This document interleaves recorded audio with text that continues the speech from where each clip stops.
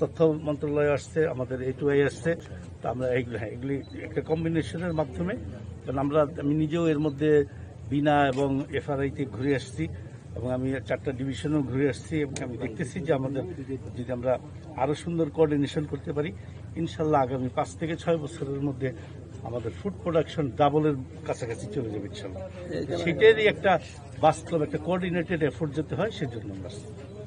এর মধ্যেই একটা সার্কুলার আমার যতদূর মনে পড়ে গত পনেরো বিশ দিন আগে দিয়ে দিছে।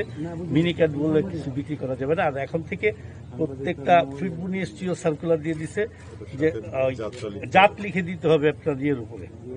মিল থেকে যে চালগুলো বেরোবে, বস্তার উপরে চাপ লিখে দিতে হবে। সেটা যদি কেউ যদি এটার ব্যত্যয় করে, সেক্ষেত্রে লিগ্যাল অ্যাকশনে আমরা যাব চলবে।